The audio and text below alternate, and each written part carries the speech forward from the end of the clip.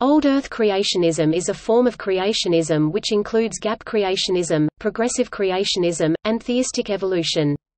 Old Earth creationism is typically more compatible with the scientific evidence on the issues of physics, chemistry, geology, and the age of the Earth, in contrast to young Earth creationism.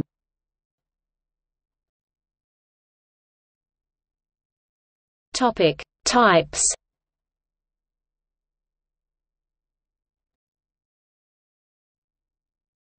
Topic: Gap creationism.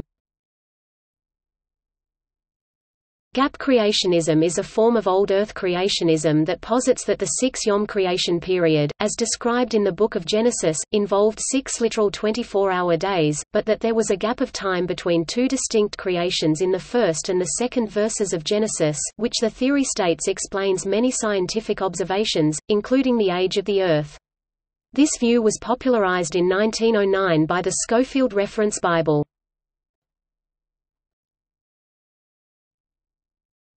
Topic: Progressive creationism. Progressive creationism is the religious belief that God created new forms of life gradually over a period of hundreds of millions of years. As a form of old Earth creationism, it accepts mainstream geological and cosmological estimates for the age of the Earth, some tenets of biology such as microevolution as well as archaeology to make its case.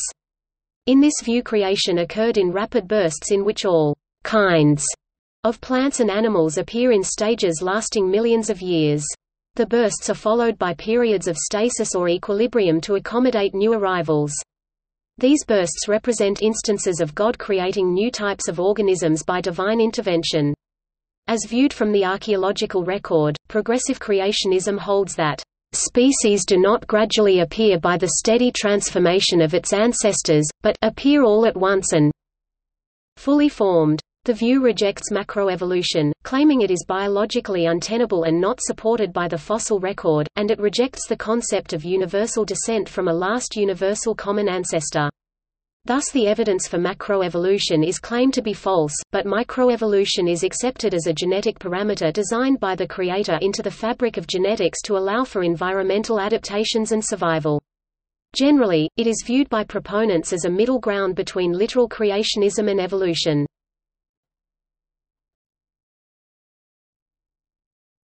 Topic: Theistic evolution.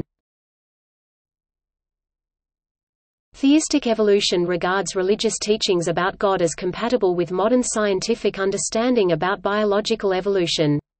Theistic evolution is not in itself a scientific theory, but a range of views about how the science of general evolution relates to religious beliefs in contrast to special creation views. Supporters of theistic evolution generally harmonize evolutionary thought with belief in God, rejecting the conflict thesis regarding the relationship between religion and science. They hold that religious teachings about creation and scientific theories of evolution need not contradict each other. Evolutionary creationism, or theistic evolution, asserts that the personal God of the Bible created the universe and life through evolutionary processes. According to the American Scientific Affiliation, a theory of theistic evolution also called evolutionary creation, proposes that God's method of creation was to cleverly design a universe in which everything would naturally evolve. Usually the evolution in theistic evolution means total evolution astronomical evolution to form galaxies, solar systems, and geological evolution to form the Earth's geology plus chemical evolution to form the first life and biological evolution for the development of life but it can refer only to biological evolution.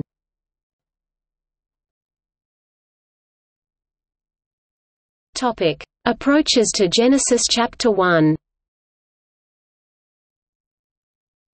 Old Earth Christian creationists may approach the creation accounts of Genesis in a number of different ways.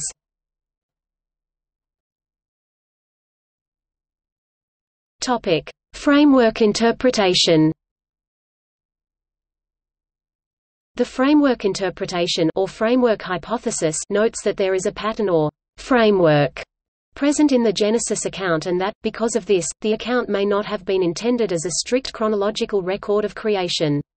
Instead, the creative events may be presented in a topical order. This view is broad enough that proponents of other old Earth views such as many day-age creationists have no problem with many of the key points put forward by the hypothesis, though they might believe that there is a certain degree of chronology present.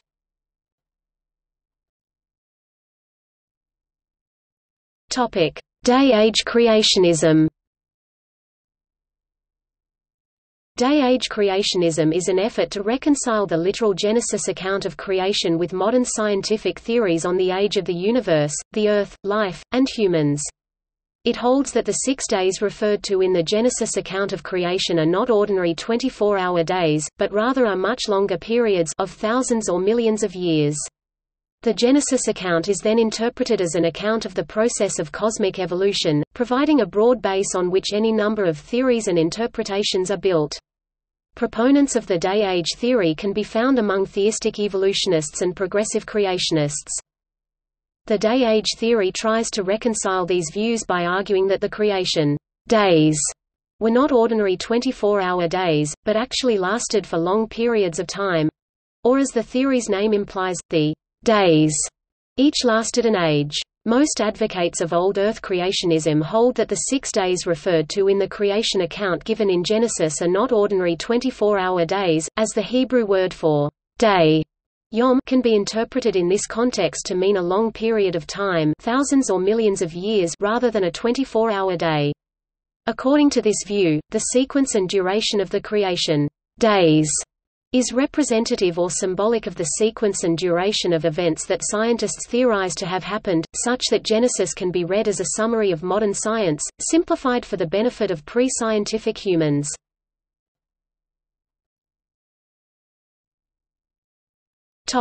Cosmic time Gerald Schroeder puts forth a view which reconciles 24-hour creation days with an age of billions of years for the universe by noting, as creationist Philip E. Johnson summarizes in his article, "'What Would Newton Do?' The Bible speaks of time from the viewpoint of the universe as a whole, which Schroeder interprets to mean at the moment of quark confinement, when stable matter formed from energy early in the first second of the Big Bang. Schroeder calculates that a period of six days under the conditions of quark confinement, when the universe was approximately a trillion times smaller and hotter than it is today is equal to 15 billion years of Earth time today. This is all due to space expansion after quark confinement. Thus Genesis and modern physics are reconciled.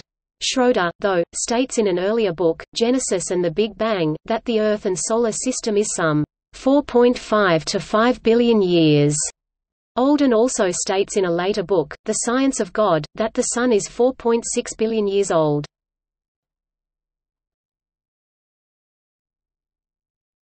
The Biblical Flood Some old Earth creationists reject flood geology, a position which leaves them open to accusations that they thereby reject the infallibility of Scripture which states that the Genesis flood covered the whole of the Earth. In response, Old Earth creationists cite verses in the Bible where the words, whole and all clearly require a contextual interpretation. Old Earth creationists generally believe that the human race was localized around the Middle East at the time of the Genesis flood, a position which is in conflict with the out-of-Africa theory.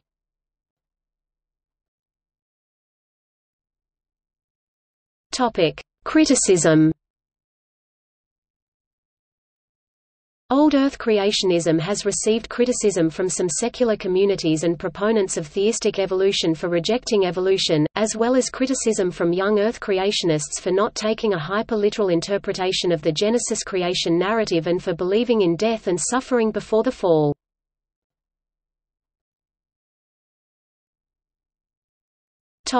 Hindu creationism In Hinduism there is no single story of creation which instead is derived from various sources like the Vedas, Brahmanas, and Puranas. Some are philosophical while others are narratives.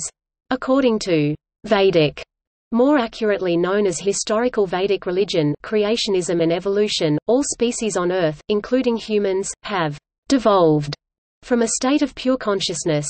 Hindu creationists claim that species of plants and animals are material forms adopted by pure consciousness which live a cycle of births and rebirths until liberation from this material universe into an impersonal or personal spiritual reality. Ronald Numbers says that, "...Hindu creationists have insisted on the antiquity of humans, who they believe appeared fully formed as long, perhaps, as trillions of years ago." Hindu creationism is a form of old Earth creationism. According to Hindu creationists, the universe is part of a multiverse that goes through cycles with no end. These views are based on the Vedas, which depict an extreme antiquity of the universe and history of the Earth.